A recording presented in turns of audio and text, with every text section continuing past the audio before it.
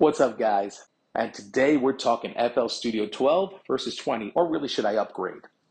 But first, what's FL Studio? For those of you who don't know, it's a digital audio workstation that's powerful, easy to use, and a good choice for those of you who are just getting started in the world of audio production.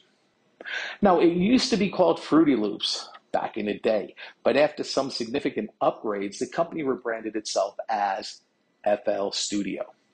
Now, what are the pros? What, make, what makes this a good choice? Well, first of all, it's got a fast 64 bit mixing and recording engine. The user interface is intuitive and easy to use. And the free version of the software is plenty for those who are just getting started or new to the industry.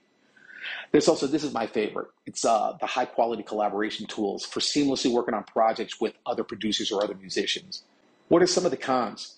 Well, new users may experience a steep learning curve, but that's true learning any DAW. All right. And it also could be very expensive if you need to upgrade to the paid version. All right. So, what's the difference between Studio 12 and 20? All right. This is where the confusion starts and the reason for this video.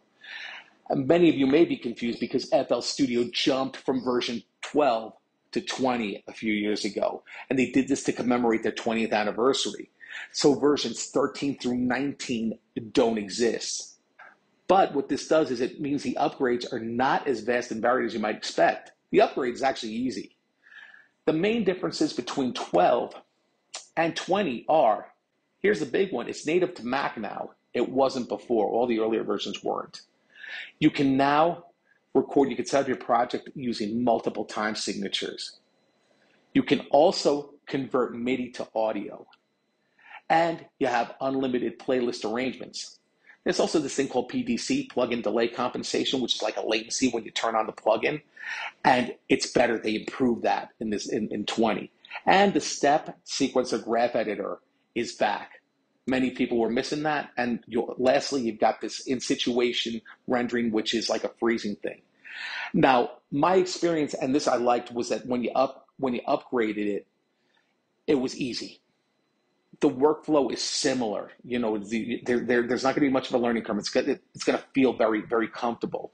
Plugins are much better. They're easier. They're faster, and the workflow efficiency has has been optimized so you can work fast and still get the best output possible. Now, what I don't like, the older synths are no longer supported.